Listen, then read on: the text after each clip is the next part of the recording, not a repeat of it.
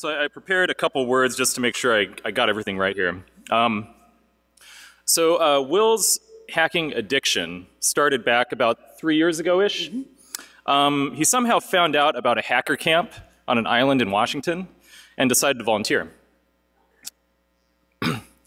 uh, with his neon sign transformer and sewing machine pedal all packed, he headed off to camp and ended up having a jolly old time teaching people how to burn shit with high voltage.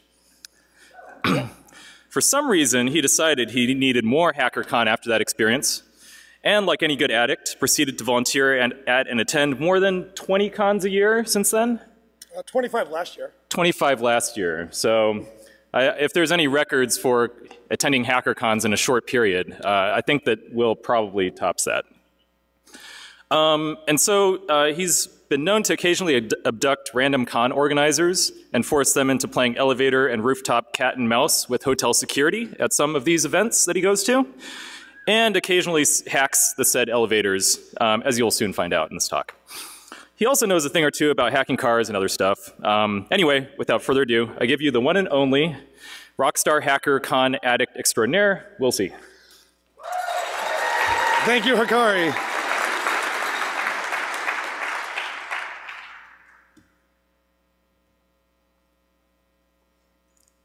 All right, guys, welcome to Freaking Elevators. So, who am I? As Kari's wonderful intro can attest, uh, I do high voltage projects. I'm also part of the Car Hacking Village. Come stop by, hack on some scooters with me.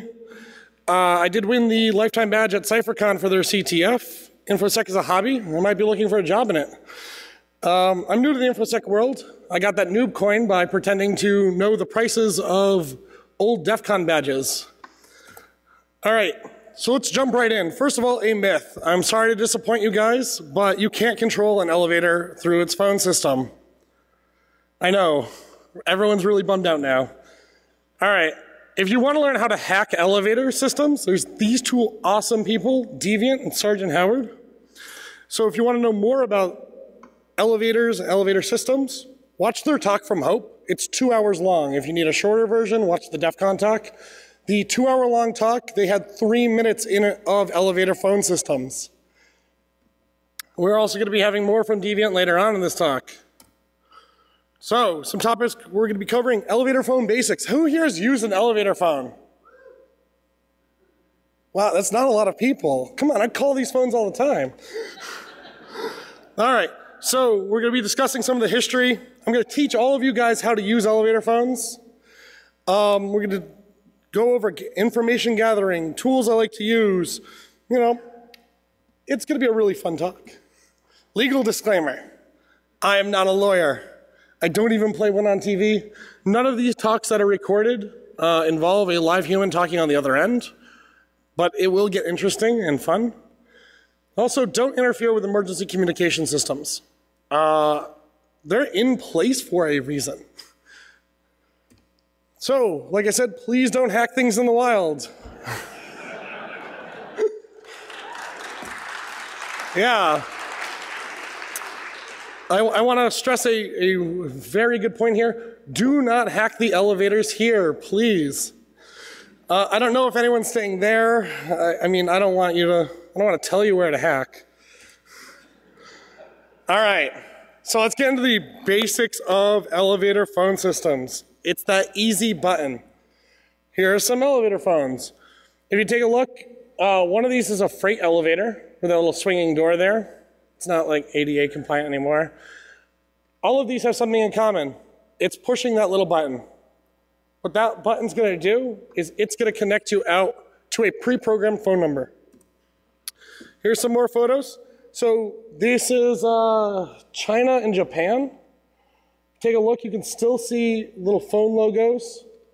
Um, you can see an actual handset just strapped to the wall there. That one was in China. I did not mess with any of the phones in China. I'm a little scared of it, like, so I just took some photos. Here we see um, some from Dubai and New Zealand. Now, what's interesting about these, and I really wanted to touch on this for any international people, there's no elevator phone button. I don't know if everyone notices that there's just those emergency ring buttons. Those buttons, what they'll do is they'll sound an alarm. That alarm is local to where you are. So what ends up happening is that, oh, there's Deviant. Uh, so what ends up happening is you have to hold that button in or press it like a number of times in, and then it will place that call. So it's just something to be aware of if you're brave enough to do this internationally. So how do phones connect to the outside world? They have their POTS lines, VoIP, cell phone. Uh, we're going to be really covering just the POTS phone system. It's the plain old telephone system. So the device you use when the handset is picked up, you'll notice that in a lot of older elevators. That's called a ring down system. We're going to be covering that in the history portion. Uh, the ADA and the ASME. So those are the two things that cover inside elevators, what needs to be there, how it needs to be there. So in our history here, elevator phones started in 68. We still found uh, rotary phones. Uh, just about every single photo in my slides are ones I've found in the wild. So this ring down system, you pick up that line, it automatically dials the number for you. Just something to be aware of. So if you're just deciding I want to place a call, it doesn't really work like that. So they got required in elevators in 70, 76 there. So we see this is a really good example of a ring down. And we see a rotary phone. That rotary phone again, another ring down phone. So when you're going to start hacking elevator phone systems, first thing you should always do is OSINT. You want to know who that phone dials to. Some phones will dial 911. They should not dial 911. Um, some phones will dial maintenance workers. They shouldn't dial maintenance workers, but if you're inside an elevator and you place a phone call at 2 in the morning, you're going to get a groggy guy that says, like, what do you want? Who is this? And why do you need my number? Um, it's something to be aware of. So if you're trying to get information for a building, you can use that phone system to acquire other phone numbers. Building information. If you're trying to, to do social engineering, you want to know your building information. Phone system information, that's one of the most critical things. Phone number information is also rather critical. What ends up happening is you can find these phone numbers out on the internet. You can use Google, and you can just Google for elevator phone numbers. People have published them. There is a elevator phone list published. So here we see a certificate that showing an elevator out of compliance. That's a perfect pretext for why you're there. Also, there's a notice. Truck just roaming around, one in the morning. I took that blurry photo uh, down in San Diego at ToorCon. Just something to be aware of so you know who's servicing your elevators. Otis is a, one of the world's biggest companies. So if you're going to be doing some social engineering, you want to know how you can pretend to be an elevator tech. Say things like, Hi, this is Deviant. I'm doing a test on the elevator phone system. I need to know the number I'm calling from. And they'll read you back the number. Then you forget to write it down properly. Then you ask again, Can you repeat that number again for me? Because sometimes they'll uh, say it quite fast. Um, you want to be remotely targeting companies? This is a little bit more difficult. So when you're doing these social engineering attacks, you're inside that elevator, and that's the easiest way to get these numbers. You're inside, you push that button, you're pretending to be that elevator tech, and then they're just like, yeah, here you go, here's the number, enjoy. But if you want to call a business, most businesses won't know what their elevator phone number is. They'll have to look it up. So understand that, have a good pretext. Call centers, uh, that's the easiest way to get a number out you can call into a call center, so knowing where that elevator dials into, if they have a record of who their customers are, and then you can social engineer your way back from there. There's a lot of possibilities. Social engineering is a, much, a very valid attack method, and I think it applies to just about everything we do here. So, let's get physical. How to control the elevator with independent service mode, and what to look for. So let's say you decided, all right, I'm gonna hop in this elevator, and I'm going to place that phone call. You want to take control of this elevator. So here we see some key switches. those arrows point to the independent service mode and how to activate it. Again, you shouldn't do this unless you've had proper training. Um, the, I believe the core group actually offers elevator training. Flip a switch. I, I don't work there, you do. so, what ends up happening here is once you flipped it into independent service mode, you have control when those hall calls are placed. No one's going to be able to get that elevator down to your floor. So you drive it up to, say, the top floor. Now all you have to worry about is who's in that floor area. You can hold that door close button, keep the door closed. Now no one's able to see you. Maybe they can hear you, maybe they can't. If they can hear you, go to a restricted floor. Inside the restricted floors, now the way I got this photo, I never, I never exited the elevator. Uh, I had complete permission to do this, don't worry.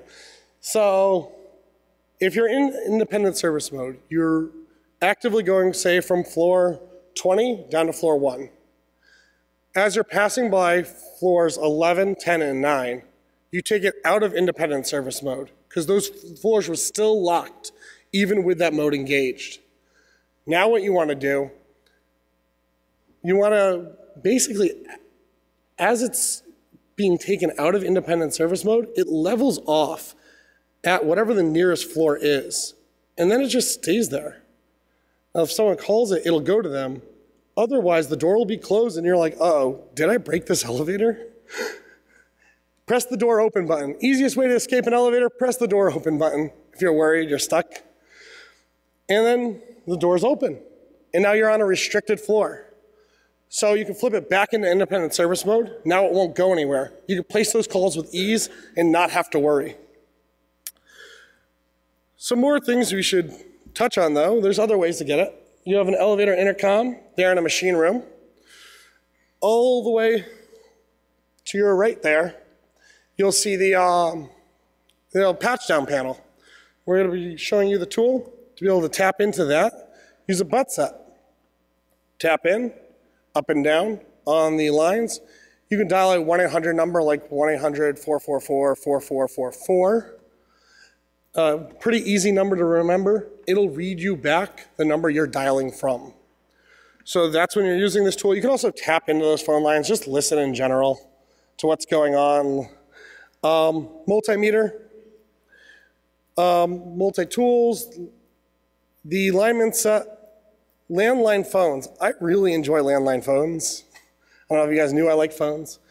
Um, you can literally just plug a landline into an elevator phone line, and it will work. It's a POTS line. It's a plain old telephone system line. That's what's the beauty of this. There's, there's no real protections. There's, there's nothing going on besides that copper pair and then that phone. If you want to do some remote programming, or actually some local programming, what you'll need is those batteries. So 9 volt double A. So now let's, let's start getting into the, the programming of elevator phones, right? Everyone wants to program an elevator phone?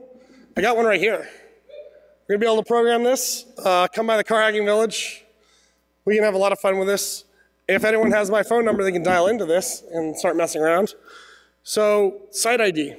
When you press a site ID, press number two on your keypad, most of the time, once you've dialed into the elevator, you've got that phone number, you see that, that call center staff. Now, you want to know, okay, well, what, what are they saying when there's an emergency? Just curiosity. Maybe they haven't programmed it. Once you place that call, you press number two, you'll hear a prompt of where you're dialing into. If, say, someone has taken an elevator phone, connected it to a phone conference, and then they themselves have exited the conference, what do you do? You're now having a phone conversation inside of an elevator with everyone else on this conference. This sounds hypothetical, it's definitely happened before. So if this happens to you, press star pound, pound, star zero, zero. All these systems are unique, and we're going to be getting into a little bit of how they're unique and what they apply to. They're also on PBXs and line concentrators. So, the PBX, the private branch exchange, elevators can have their own. They can also be on, say, the, the normal business or hotel line. So just be aware of that. So you're inside that elevator, you press that button, and they tell you, oh, you're calling from 4356. That's it. Like, can you repeat that? 4356? You're like, oh, that's not enough digits. you're on a PBX. You can also take the voltage of the line if it's a really low voltage. That can sometimes show you older PBX equipment. There's some more fun phone things you can do in there. Line concentrators. Now, these are really unique to emergency phone systems. What ends up happening is they don't actually think that multiples of these are going to go off at the same time. So, easy way to save money is press the, you have all of these, these boxes. I think I literally have that box that's in that photo right here. You have all of these connected to one system. They end up dialing all out the same line. Now you might be thinking, well, what happens when they're busy? You get a busy signal. Can only use it one at a time. Inbound calls, they pick up with a double beep, and then you're pressing one, two, or three to enter into an elevator. So you need to know, am I dealing with a line concentrator or not? And that's sometimes kind of difficult to know until you've actively dialed into the system. Another easy way to do that, though, is if you've dialed the call center once, you know, you push this emergency button, got the phone number, go to the other side of the elevators. Push that button, see where that number is calling from. It's the same number, you're on a PBX or a line concentrator. Just good things to understand. And when the power fails, it's a party. It's an active party line. I don't know if people are familiar with party lines, but everyone jumps on and you're all connected together. It's a really good time. So elevator intercoms, they're from the, uh, they're located outside the elevator, normally in the hallway, hoistway, machine room. So these are so that you can talk to them. This is a photo I took just right there, like next to the elevator. You can flip a switch, turn it on, push the button and listen. We actually have a video. Hopefully the, uh, the quality is good.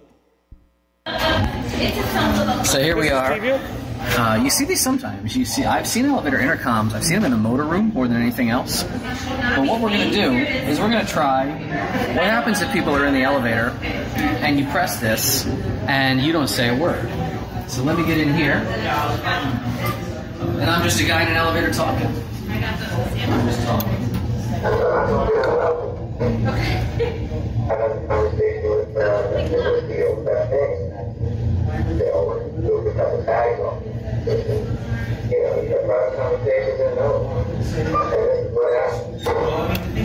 So, like, could you hear me? I didn't think you could. All right, let's give it up for Davian. Thank you for letting me use that video. So that's just something to be aware of, an easy way to be able to, to talk into that elevator, to listen into that elevator. I don't know, is anyone here familiar with the fireman phone? Anyone? So this is a system that I have really, oh yeah, one person, that's awesome. So you probably know more than me about this. um, I have not found a lot of information on these systems. I have talked to firefighters about them because I didn't know a lot of information. The system looks for opens uh, if it's open, if it's shorted, if, if there's ground faults, so if one of the lines is run to ground. They have two different styles of wiring. I'm not going to be getting into it. I just wanted people to be aware that this is a phone system inside of an elevator. So understand that if you're going to plug into this, it will sound an alert. It'll be at whatever their command center or like alarm panel. So just understand that. These are the phones. It's a quarter inch plug. So you plug in, you're talking. These are used by firefighters if their radios aren't going to work inside that elevator. They're being used less and less. Um, you can also find them outside the elevators. So again, when you're when you're going through, you can see them sometimes even in these hotels.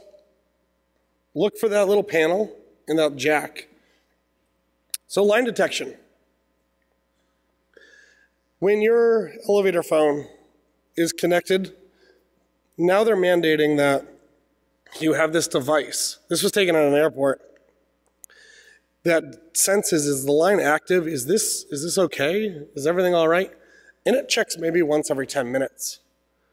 But inside that checking, all it's going to do is sound like a buzzer or a little alarm. It's not, it's not actively going uh, to call someone else because that line is now defunct.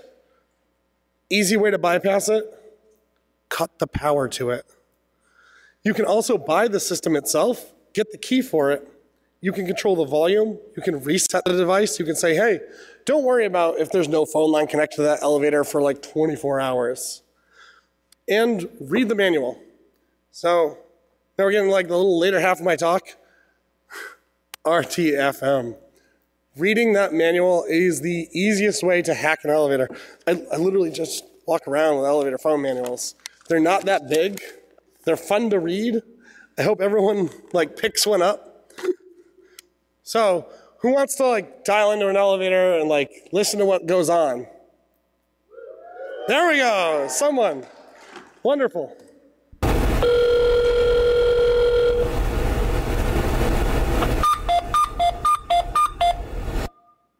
All right. Hopefully everyone heard that.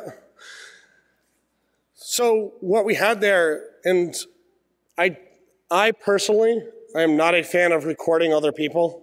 Uh, I did not want to record the conversations that can ensue from doing this. Um, so after you've heard that noise, you're inside the elevator. You'll hear a weird echo, and you can mute your phone. You know, just hit the mute, and now you can just listen to them. You can listen to whoever's inside that elevator.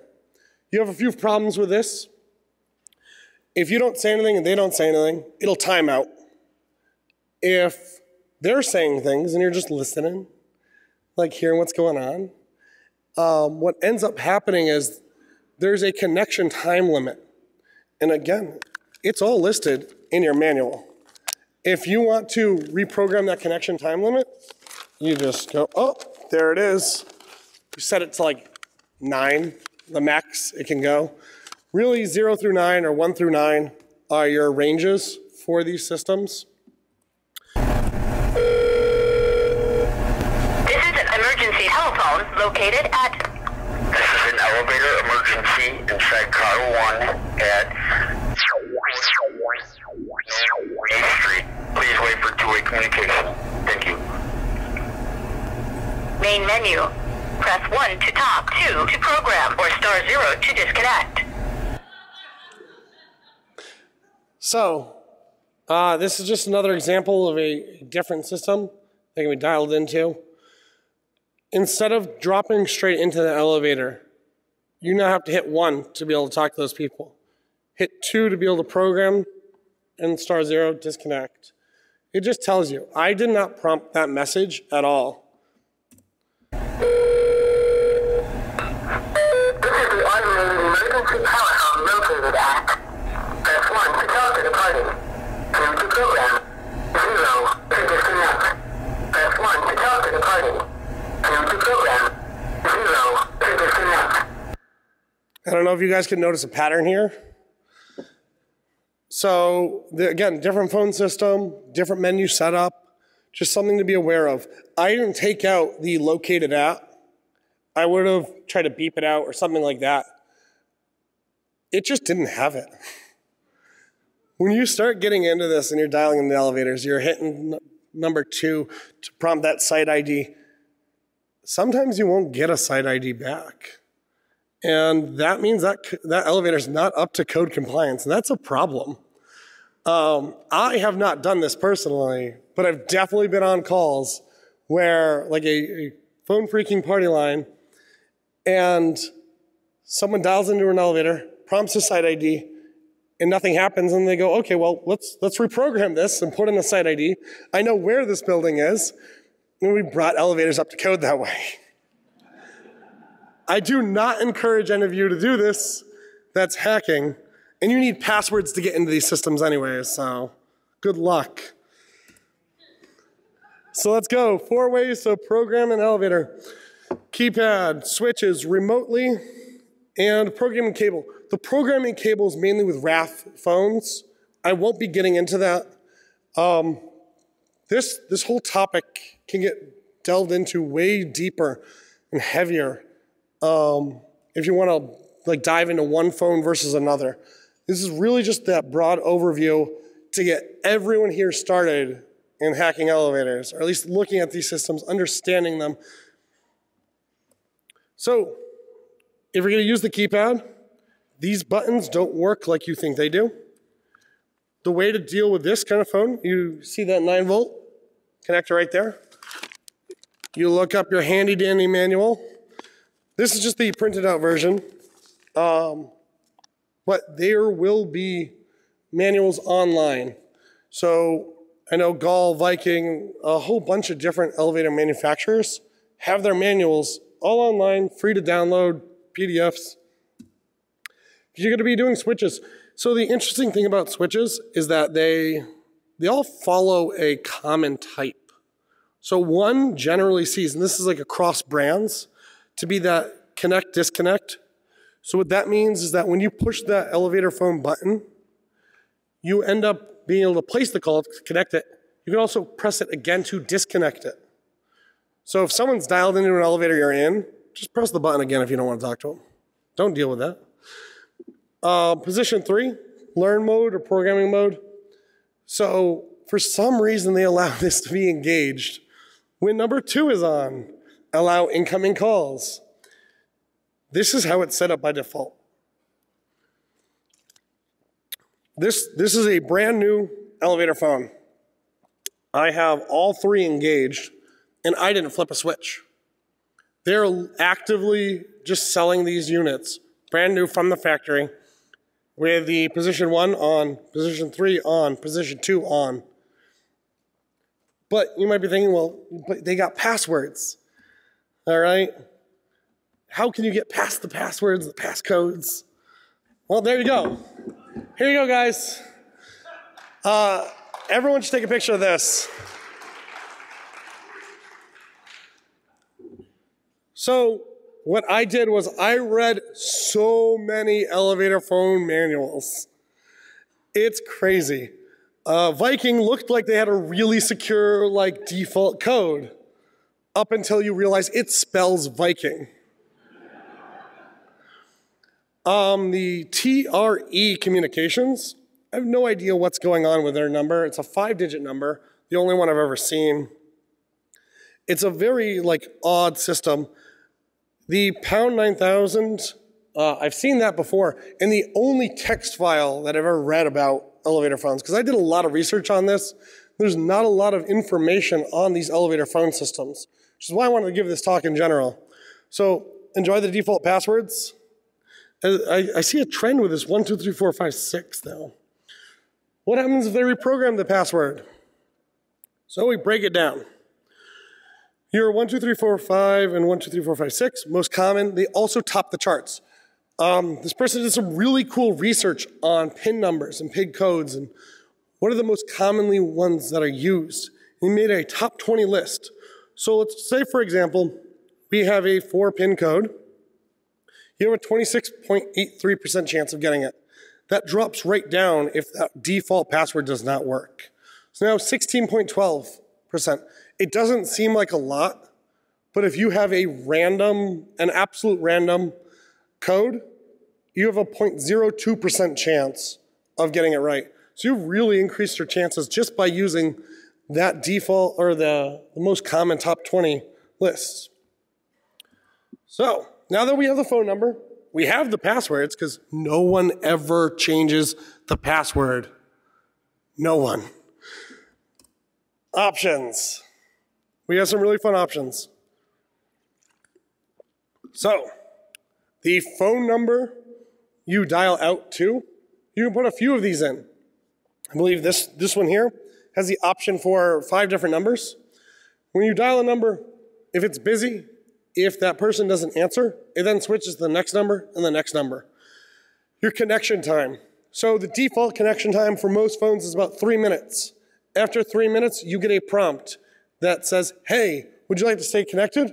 Press three to stay connected. And you get that every 30 seconds. Really difficult to have a conversation with someone for more than three minutes. So you go through your manual. You have to figure out where in that position you're going to be. So slot one is going to be filled up with the phone numbers. Slot two is going to be your connection time, your tone or pulse, silence in and out. So you're going to dial these numbers. So connection time, hit nine. Your pulse or tone, probably one for tone. Silence timeout. So figure out, you know, is it after 30 seconds and no one's speaking, it'll drop that call. Set that to its maximum. You can go in, you can go on and on and on. There are so many options. There's no way to tell. I can't tell you, say, hey, dial into this phone, try all the default passwords, and then just keep hitting nine. Doesn't work like that. I am sorry. But if you happen to know the phone because you push that button, you got that phone number, you download that manual right off the internet, you can then reprogram it to whatever you want. You call Rickrolling. So let's do some practical attacks. Let's, let's take a look at what's going on here. Denial of service, you can make sure that line no longer functions, no longer calls the correct number. You can have it call you instead. So if you plan on trapping someone inside of an elevator, I don't recommend that. You can have it call you, and then you can play some games with them. Uh, you can bypass line detection. So turning the elevator into a covert listening device, you have some problems with this. Your LED will light up. It'll be blinking when it's making that connection. It'll stay solid when you're connected. Your connection time, as I was talking about earlier, and that weird like tone noise you heard. That's all going to be playing and seen inside that elevator. Again, if you guys experience this and you don't you don't want to talk to whoever's on that other end, just hit that button. It'll hang up on them. So, you have an open phone line. You can exfiltrate data. I don't know, has anyone ever used a dial-up modem before? Oh, great, a few people. Excellent. You can register services like Google Voice. And now, dialing some numbers. Who thinks this is the worst attack possible you can do? You can call other phone numbers from an elevator. Anyone? All right, well, it is the worst, I think. And this is why. So, there are 60 elevators at Ann University. I took out the university name because someone told me to. Each one of those elevators has their own phone line. A billing cycle, say 30 days, at 24 hours, 720 hours. Times that by 60 minutes, 4,000 or 43,200 minutes. Times that by the 60 elevators, you have like 2.5 million elevator minutes, I call them. Times that by the 2.55 that you charge for dialing a 900 number. So you set up your own 900 number, you have all these elevators call it, you can make $6.6 million right there. This is the only time I ever thought about not giving this talk, because like, man, I could be a millionaire? Yeah, um, I really think this is kind of crazy because there are still 900 numbers around, and if you were to be malicious, there's nothing stopping this. It's a POTS line. It's a plain old telephone system line. Just understand that that, that is a crazy thing. I've never heard of anyone even trying this kind of thing. So I'd like to think it's, it's it is entirely theoretical. I've never done it. So are we all doomed? No, no, we're not. Look at monitoring. So why are we having an hour-long phone call?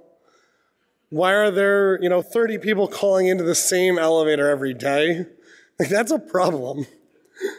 Alerting, like, if there's really an emergency, someone should deal with that emergency. All of these things, these are these are supposed to be outliers. These are things that are like, what what in the world is going on here? Someone should investigate this stuff. No one ever does because no one ever ends up understanding and knowing that, hey, someone is calling into the elevator, but before people get in, they've, you know, extended that connection time. They've made it so nothing's happening. No one, no one ever looks at the little button. And when you are looking, you can say, hey, you pushed that button. And they'll tell you, no, I didn't. And you say, yes, you did. That's how I'm talking to you. It's a really interesting conversation you can have with someone. not saying I've definitely done this. So, if any manufacturers are out there, uh, props to Otis for reaching out to me. Uh, no default passwords. Don't allow the most common top 20 pins. Like, we don't allow password as a password anymore, right? Why should we allow one, two, three, four, five, six? Like that just seems crazy to me. Don't allow remote programming. Um, I know elevator technicians, and when they're reprogramming a phone, they're there on site. They're working on the elevator anyways. They've just installed that phone. They have access to it. I understand, like, especially see here for this one, there's no easy way to, to allow that remote programming or to have that local programming. You need to dial into it. I get that. I understand that. That's okay. After you're done, it should have to then be put back into a no programming mode. Some of the Viking systems, the newer ones, are doing that.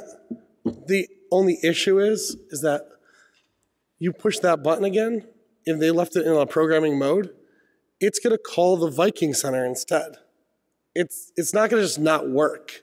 So you are gonna get someone eventually. Like, it's crazy to me. You should have that understanding of what happens when, when these phones are left in to a programming mode.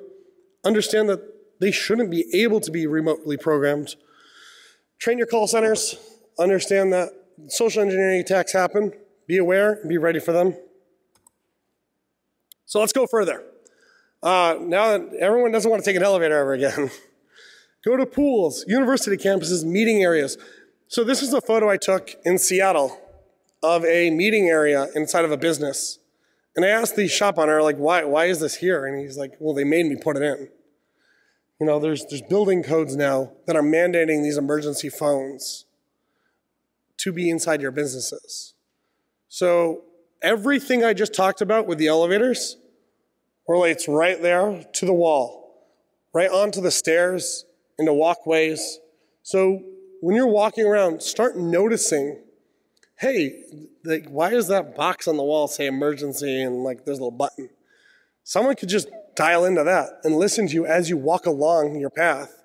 Like I used to, I was on a campus, I could see people walk down this bike lane. And all along the bike lane, there's these little little posts. And yeah, you could you could listen in right like to each post just dial to the next one before they got there, and so you can listen to their conversation all along the walkway. Um, again, do not do this, people. Please enjoy people's privacies.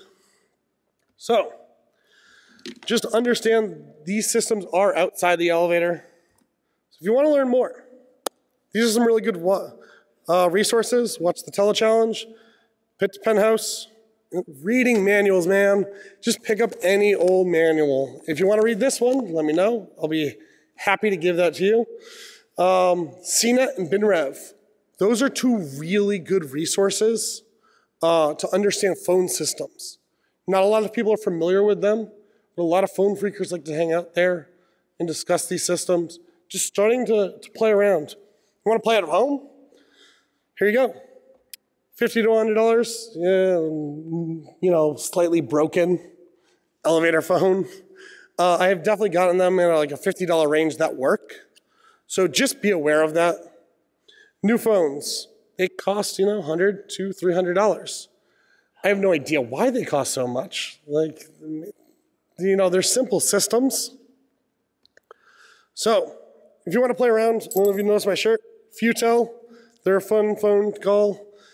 Uh, they're a nonprofit phone company I'm an operator for. PLA, they put up some fun systems. Phone Sex Funhouse, there's more. Um, just be aware. So dialing into these, what you can do is you can hack the, um, like PLA has a bunch of answering machines set up. Start playing around with these systems again. I, I feel like this community has forgotten about phone freaking as an active attack. And that's one of the reasons why I really wanted to get get this talk out there to understand that these things are still happening today. So, thank you guys. Thank you all to my InfoSec friends. Plug, Wire.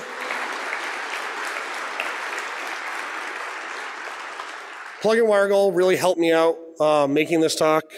Uh, Sergeant Howard and Deviant were wonderful resources, and the EFF is amazing. Please donate to them. Thank you guys. If you want to give me a call, there's my phone number. It is actually my phone number. It will call this phone.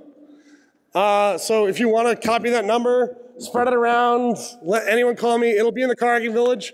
You, this is set up with the default password. So give me a call. Thank you guys.